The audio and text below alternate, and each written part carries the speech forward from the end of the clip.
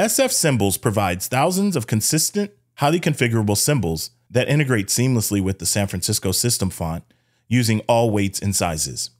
You can browse the many different symbols using the SF Symbols app, and as of Xcode 14, you will now be able to browse them directly in Xcode.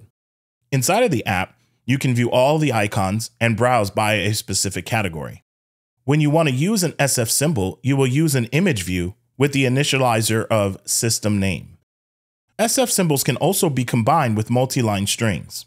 When modifying SF symbols, you have a few options. You can treat SF symbols as a font.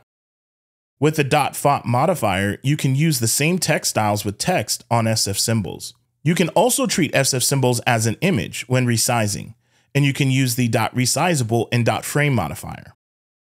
Just like image, SF symbols can use the modifier dot .image scale.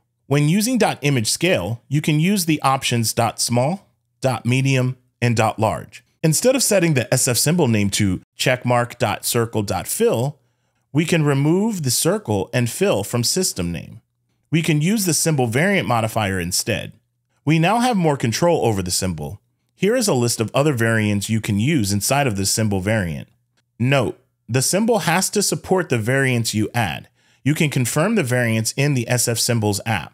We don't have to apply a symbol variant for each option we want to add. We can use one symbol variant and dot syntax for each option we want to apply. We have just touched the surface of SF Symbols.